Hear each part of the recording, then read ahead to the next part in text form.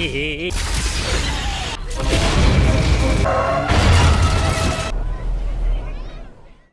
teman-teman, selamat datang di Bongkar Film.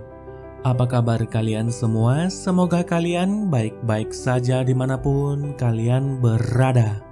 Di video kali ini, saya akan membahas anime yang berjudul Inuyashiki. Bercerita tentang seorang pria tua bernama Ichiro Inuyashiki yang terkena suatu ledakan pada suatu malam. Di saat tersadar dia sudah berubah menjadi robot cyborg dengan kekuatan yang tidak wajar. Bagaimana kisahnya? Baiklah, tanpa berlama-lama lagi, mari kita mulai ceritanya. Cerita dibuka dengan memperlihatkan seorang pria tua bernama Ichiro Inuyashiki yang baru saja pindah ke rumah baru bersama keluarganya. Namun kedua anaknya yaitu Mari dan Takeshi sangat kecewa kepada sang ayah karena rumah baru mereka sangat kecil. Mereka juga mengabaikan sang ayah dan tak mau makan malam bersamanya. Inu sendiri hanyalah seorang karyawan biasa. Sepulang kerja, dia tak sengaja menemukan seekor anak anjing yang dibuang oleh pemiliknya. Tak tega meninggalkannya, dia kemudian membawanya pulang ke rumah.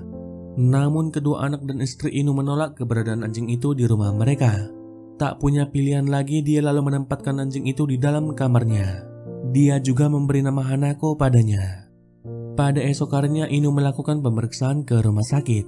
Dan betapa terkejutnya dia ketika sang dokter memberitahukan jika dirinya mengidap kanker perut.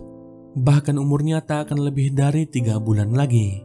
Inu kemudian coba menghubungi anak dan istrinya. Namun tak ada satupun dari mereka yang mau mengangkat teleponnya. Atas hal itu Inu pun hanya bisa menangis seorang diri di taman. Di saat kembali pulang keluarganya bahkan tak menyambut baik dirinya. Bahkan Mari mengatakan pada temannya jika Inu adalah kakeknya. Inu merasa jika keluarganya tak akan peduli apa yang terjadi padanya. Dia juga merasa percuma memberitahukan tentang penyakitnya kepada mereka. Di malam itu dia meluapkan semua kesedihannya ditemani oleh Hanako. Namun dia dikejutkan ketika seorang pemuda berdiri tepat di dekatnya. Dan secara tiba-tiba, sebuah cahaya tiba-tiba muncul dan langsung meledakkan mereka berdua. Tubuh Inu yang sudah hancur kemudian mulai diperbaiki. Pada keesokan paginya, Inu terbangun dan tak merasakan apa-apa sama sekali. Namun Inu mulai merasakan hal aneh pada dirinya. Dia tak bisa merasakan makanannya dan juga sangat kehausan. Sakit punggungnya juga hilang seketika. Bahkan dirinya tak lagi memerlukan kacamata. Para dokter di rumah sakit juga sampai tak habis pikir. Ketika melihat kanker perut yang diidap oleh Inu sebelumnya sudah menghilang begitu saja. Inu yang mulai merasa tak enak badan kemudian kembali ke rumah untuk memeriksa tubuhnya. Dan betapa paniknya dia ketika uap asap tiba-tiba keluar dari lengannya. Tangannya juga tiba-tiba berubah menjadi sebuah senjata dan memuntahkan semua yang sudah dia makan sebelumnya. Setelah itu tangannya kembali ke bentuk semula. Merasa ada yang tidak beres Inu kembali memeriksa seluruh tubuhnya. Dia pun semakin terkejut ketika kepalanya terbelah menjadi dua dan tubuhnya berubah menjadi mesin.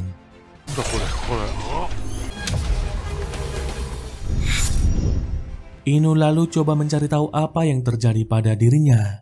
Dia juga merasa sedih namun tak ada air mata yang bisa keluar dari matanya. Namun tiba-tiba dia mengingat pemuda yang bersamanya sesaat sebelum ledakan terjadi. Inu pun memutuskan untuk mencari pemuda itu guna mengetahui apa yang sudah terjadi.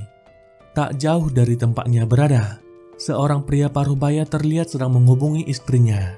Pria itu sangat bahagia ketika sang istri memberikan kesempatan kedua untuk hidup bersamanya.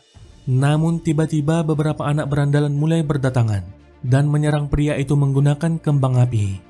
Di lain sisi, Inu tiba-tiba bisa mendengar banyak suara melalui sistem pendengaran canggih yang ada di telinganya.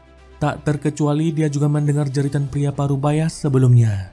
Inu kemudian coba melindungi pria tak bersalah itu. Tapi sialnya anak-anak berandalan itu malah memukulinya sampai tak sadarkan diri. Namun secara tiba-tiba, di saat tak sadarkan diri tubuh Inu langsung berubah menjadi senjata dan menyerang anak-anak berandalan itu dengan senjata laser tanpa melukai mereka. Tak berhenti di situ, Inu juga bisa mengetahui informasi pribadi mereka semua. Dia lalu mengirimnya ke internet dan juga televisi beserta video kekerasan yang mereka lakukan sebelumnya. Dan semua orang akhirnya bisa melihat perbuatan mereka. Sedangkan di lain sisi pria itu sangat berterima kasih kepada Inu. Setelah itu Inu pun akhirnya bisa menangis karena dirinya baru saja menyelamatkan satu nyawa manusia. Dia juga sangat bahagia karena dirinya masih memiliki hati manusia. Kemudian kita akan dikenalkan dengan Hiro. Dia adalah pemuda yang bersama dengan Inu di malam saat ledakan terjadi, yang secara kebetulan juga berada di satu kelas yang sama dengan Mari. Hiro sendiri memiliki teman sekelas dan masa kecil yang bernama Ando, yang sudah tak masuk sekolah selama beberapa hari. Sepulang sekolah, Hiro kemudian mengunjungi Ando. Dia lalu memberitahukan jika dirinya bukanlah Hiro yang dikenal oleh Ando lagi. Dan tiba-tiba Ando pun sangat terkejut ketika Hiro menunjukkan kepalanya yang bisa terbelah. Semula Ando berpikir jika itu hanyalah sebuah trik sulap. Tapi Hiro kembali menunjukkan apa yang bisa dilakukannya.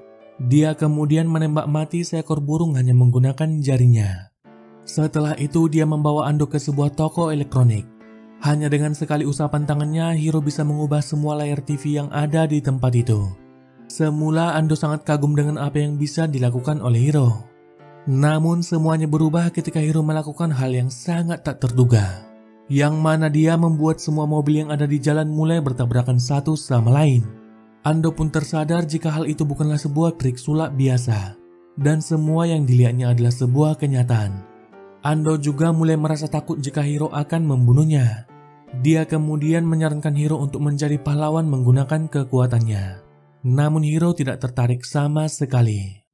Sebelum kembali pulang, Hiro meminta Ando untuk kembali bersekolah.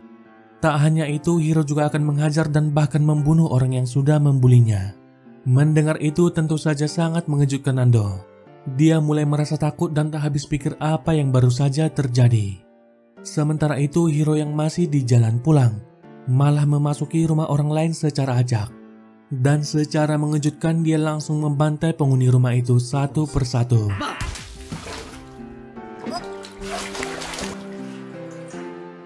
Putri sang pemilik rumah yang baru saja kembali pun sangat terkejut melihat apa yang terjadi.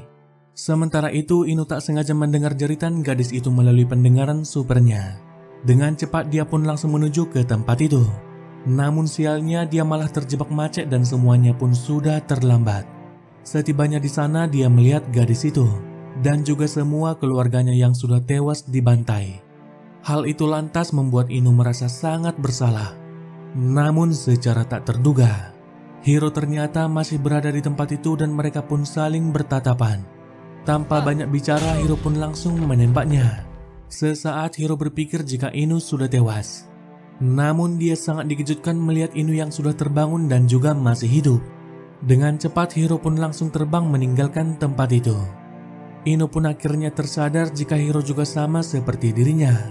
Kejadian itu bahkan sampai terbawa ke dalam mimpinya dan membuat Inu merasa sangat bersalah tak bisa menyelamatkan satu keluarga itu. Sementara itu di dalam kelas, Hiro mulai bertanya-tanya siapa Inu yang sebenarnya. Dia lalu kembali mengunjungi Ando yang belum juga masuk sekolah. Di tempat itu mereka menghabiskan waktu membaca manga kesukaan mereka. Namun tak sengaja jari Ando tergores dan terluka. Tapi dengan mudahnya Hiro langsung menyembuhkannya. Hiro mengaku jika dia juga bisa menyembuhkan penyakit serius seperti kanker. Setelah itu dia lagi-lagi meminta Ando untuk kembali bersekolah. Sementara itu di lain sisi Inu baru pulang dari tempat kerjanya. Di jalan dia melihat beberapa preman yang hendak menghajar seorang pria. Inu yang tak mau tinggal diam kemudian meminta pria itu untuk segera lari. Sementara dirinya yang akan melawan para preman itu sendirian. Semula mereka hanya menganggap Inu sebagai orang tua biasa. Namun secara tak terduga, Inu berhasil memukul mereka satu persatu sampai terkapar. Pria itu pun tak hentinya mengucapkan rasa terima kasihnya kepada Inu. Sesaat kemudian Inu mendengar adanya kebakaran melalui pendengaran supernya. Namun yang menjadi masalah lokasi kebakaran itu sangat jauh dari tempatnya berada. Dia pun teringat dengan apa yang dilakukan oleh Hiro sebelumnya. Inu kemudian mencoba untuk terbang sama seperti Hiro. Semula dia sangat sulit untuk terbang dan juga mengendalikan dirinya. Namun pada akhirnya dia berhasil sampai di tempat tujuan. Inu kemudian mulai menyelamatkan satu persatu penghuni rumah yang terjebak di dalam kebakaran itu.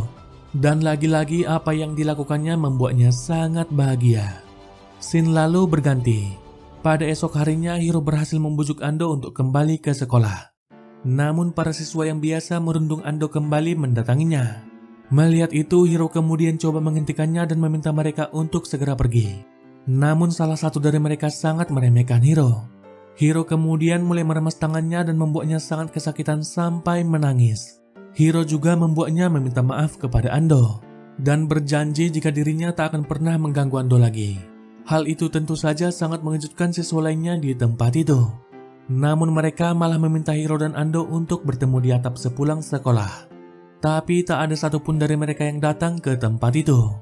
Dari atap itu mereka melihat siswa berandalan sebelumnya sedang bersama siswa perempuan. Dan secara tiba-tiba, bang, Hiro langsung menembak mati mereka semua. Hal itu lantas membuat Ando sangat syok atas apa yang baru saja dilihatnya. Namun Hiro memintanya untuk tidak khawatir, karena senjata yang dia gunakan tak memakai peluru, dan polisi tak akan bisa menemukan barang bukti apa pun. Hiro juga mengaku bisa meretas internet, radio, dan semua kamera CCTV. Hiro bahkan bisa mendapatkan uang banyak dengan sangat mudah. Namun Ando tak setuju dengan apa yang Hiro sudah lakukan. Dia juga tak ingin berteman dengan seorang pembunuh seperti Hiro. Ando lalu meminta Hiro menyerahkan dirinya kepada polisi yang mana hal itu langsung ditolak oleh Hiro. Atas hal itu, Ando akhirnya meminta Hiro agar tidak datang lagi menemuinya. Di lain sisi, Inu tak sengaja melihat seekor induk kucing yang ditabrak mobil. Hal itu lantas membuatnya sangat panik dan tak tahu harus berbuat apa. Namun secara tiba-tiba, dia bisa melihat organ dalam kucing itu yang terluka menggunakan penglihatan supernya. Inu kemudian coba mengobatinya, dan betapa bahagianya dia ketika induk kucing itu sehat kembali. Menyadari kekuatannya, Inu kemudian mulai mendatangi rumah sakit untuk mengobati orang yang membutuhkan pertolongannya. Sementara itu, di tempat yang berbeda, Hiro kembali membantai sebuah keluarga. Baiklah teman-teman, demikian alur cerita Inuyasaki part yang pertama. Bagian yang kedua akan kita lanjut pada video berikutnya. Teman-teman yang tak ingin ketinggalan cerita selanjutnya, jangan lupa subscribe dan juga nyalakan lonceng notifikasinya. Baiklah, saya pamit dan sampai jumpa di video selanjutnya.